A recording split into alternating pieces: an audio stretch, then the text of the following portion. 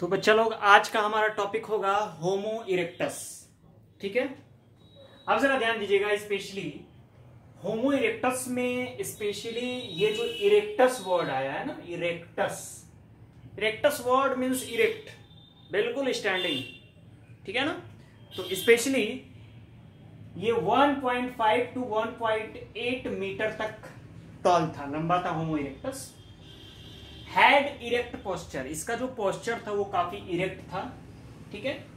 Skull was flatter than modern man इसका जो school था, वो मॉडर्न मैन से थोड़ा फ्लैट था।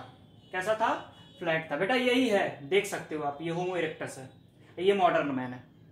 तो इसका जो स्कल था, वो काफ़ी फ्लैट था। ये देख सकते हो आप, हिस्सा काफ़ी ये फ्लैट है। ठीक है ना? स्पेशली ये ओमनीवोर्स था। ठीक है? और ऐसा माना जाता है कि first to eat animal meat इसने जो है पहली बार जो है एनिमल मीट जानवरों को, ठीक है ना, मारकर खाना स्टार्ट किया। Specially take care of olds और ये अपने ओल्ड्स की अब टेक केयर करने लगे। मतलब एक तरह से पेरेंटल केयर आ गई। पेरेंटल केयर कह लो या माता पिता का जो केयर था पेरेंटल केयर में तो बच्चों का देखभाल करना, ये अपने बूढ़ों का भी देखभाल करते थे। प्रोट्रूडिंग जॉज इनके जो जॉज थे जॉ वो प्रोट्रूडिंग माने बाहर की तरफ़ ऐसे निकला हुआ था, ये हिसाब देख सकते हो होमो इरेक्टस का। Okay projecting brow ridges brow ridges बहुत ज़्यादा प्रोजेक्टिंग था, बाहर की तरफ़ निकला हुआ था। ये हिस्सा काफ़ी ज़्यादा बाहर की तरफ़ निकला हुआ था, ये आप देख सकते हो यहाँ पर। ओके स्मॉल कनाइंस इनके कनाइंस काफ़ी स्मॉल थे। लार्ज मोलर इनके मोलर की साइज़ जो सबसे लास्ट वाली थी, वो काफ़ी बड़ी थी। लेस बॉडी एयर्स अब देखो होमो इरेक्टस में क्या है? लेस बॉडी एयर्स ये एप वाले जो कैरेक्टर थे अब खत्म हो रहे हैं, इंसान वाले कैरेक्टर आ रहे हैं बॉडी के ऊपर बाल कम हैं specially male tall than female ठीक है? फिर इंसान वाले थोड़े कैरेक्टर है कि मेल की जो साइज़ है वो फीमेल से थोड़ी बड़ी हो रही है, ठीक है? इनमें सबसे अच्छी बात क्या देखी गई कि increase intellect memory and speech ये अपनी भाषा में कुछ बातचीत करते थे, इनकी अपनी भाषा रही होगी, ठीक है ना? वो उस अपनी भाषा में ये बातचीत करते थे, ठीक है ना? इनकी मेमोरी भी काफ़ी बढ़िया थी। अब आप देख सकते हो होमो इरेक्टस के तीन फॉसिल्स देखे गए हैं। जावा मैन पेकिंग मैन और एटलांटिक और हिडेलबर्ग मैन जावा मैन को स्पेशली पीथे कैंथ्रोपस इरेक्टस बोलते हैं। ठीक है ना? पेकिंग मैन को सीनेंथ्रोपस पेकिनेंसिस बोलते हैं और एटलांटिक और हिडेलबर्ग मैन को स्पेशली होमो इरेक्टस ठीक है ना? मारू टेनिकस नाम से जानते हैं। नेक्स्ट है बेटा लोग नियंडरथल ठीक है?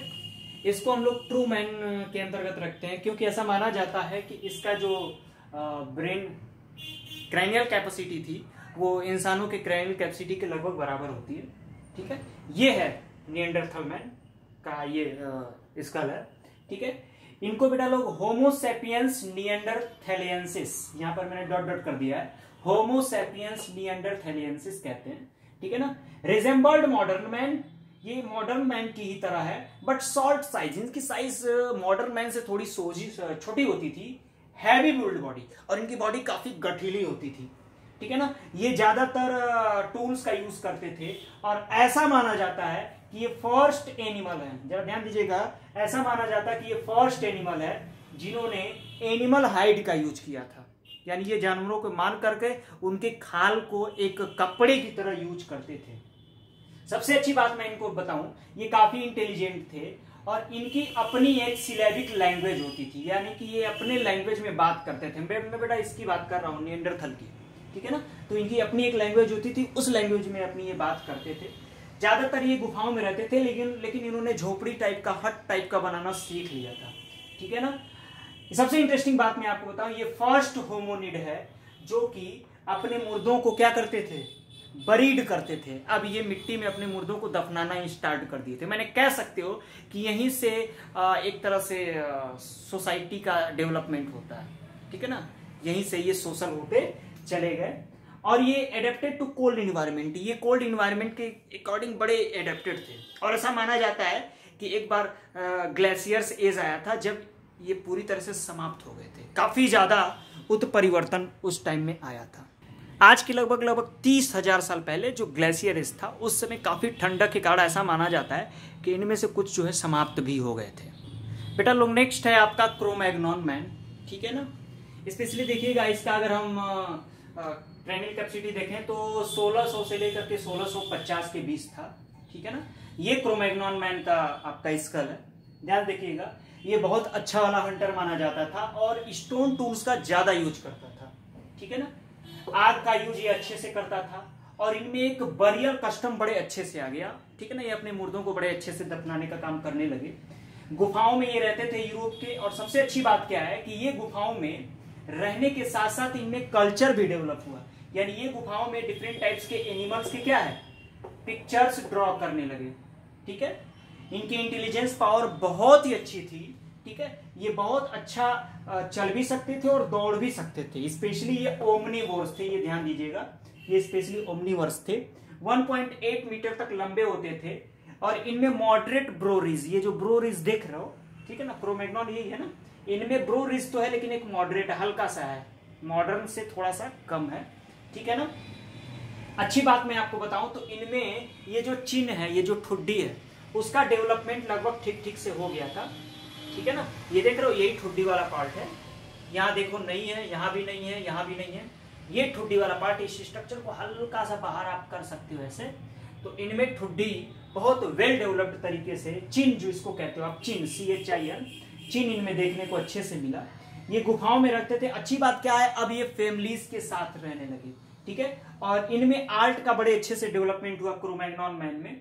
ठीक है? साथ ही साथ ये कार्विंग पेंटिंग के बड़े अच्छे ज्ञाता भी होते थे। पेंटिंग बड़े अच्छे से ये करते थे। बेटा लोग, इनको होमोसेपियंस फॉसिलिस के भी नाम से जानते हैं। जरा ध्यान दीजिएगा होमोसेपियंस फॉसिलिस और चलिए लास्ट की बात करते हैं। होमोसेपियंस सेपियंस इससे आप सभी परिचित ही हो, यही है होमोसेपियंस सेपियंस मॉडर्न मैन ठीक है? इनके कुछ खूबियों की वही बात करेंगे। हम लोग ही होमोसेपियंस सेपियंस अपने आप को देखो, अपने को देखो बबुआ। हम अपने को देखें। हम ही तो होमोसेपियंस सेपियंस है। ना अपना ही कैरेक्टर लिखना है और कहा है। ठीक है? इरेक्ट पोस्चर ये बिल्कुल सीधा होके चलने लगा। स्लाइटली कर्व स्पाइन इनका जो स्पाइन था, उसमें थोड़ा सा कर्व था। मतलब आप ऐसे देख सकते हो। अगर ये कोई इंसान का मैं स्ट्रक्चर बना रहा हूँ, मान लो ये उसका ब्रेन है।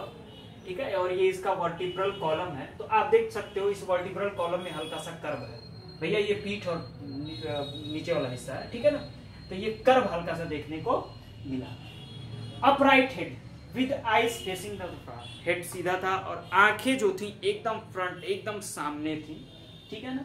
आर्म शॉर्टर देन लेग्स सबसे अच्छी खूबी बात क्या थी इंसानों में, बंदरों में ऐप में?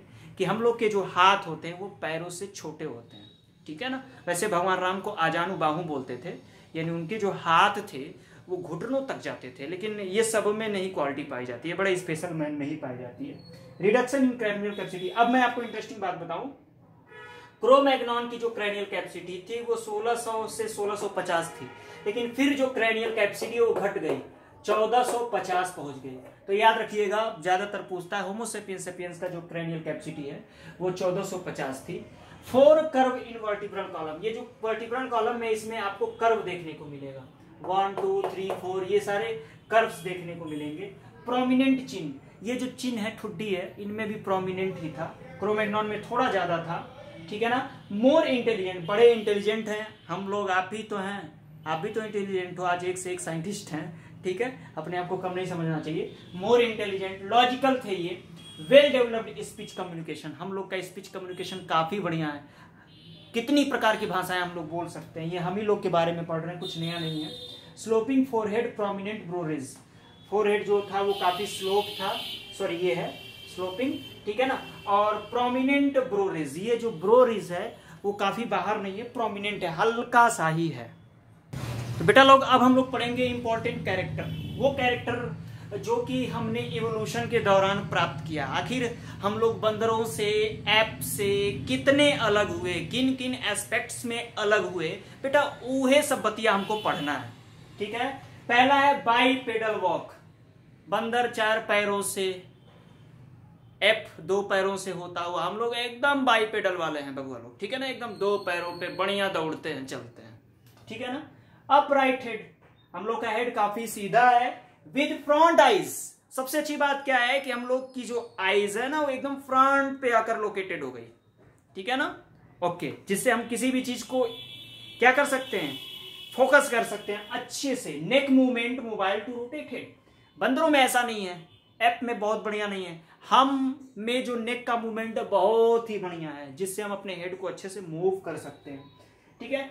लार्ज एंड कॉम्प्लेक्स ब्रेन ये तो आप लोग जान ही रहे हो कि ब्रेन की साइज़ धीरे धीरे धीरे धीरे धीरे धीरे, कैसे कैसे ड्रायोपिथेकस ऑस्ट्रेलोपिथेकस रामापिथेकस सिवापिथेकस से होता हुआ क्या है?